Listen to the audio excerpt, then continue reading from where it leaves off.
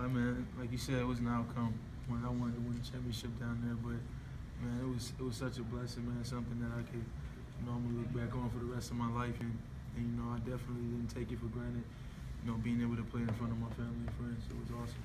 You've been able to process it since you've been back? Just all the emotions and everything. Oh no, not for real. Just because my family, my family been talking about the team, you know, ever since we left, and just how how much they love them and, and how nice they were. So, you know, it's a that's a once in a lifetime thing.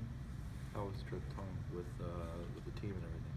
Yeah, it was it was fun. You know, I got a, I got a chance to take him uh, took him to where I was from, um, and just be around my aunts and my, my great grandmother, my grandmother, my cousins, my younger cousins. So you know, they had a lot of fun.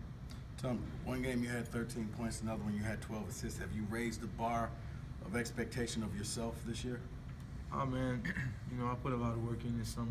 I just I just want to continue to get better as each game go on in the season. You know and that it comes in by watching a lot of film and, and seeing what I could do better for this team. So I think if I continue to watch film and continue to see where I can get better, I can get better every day.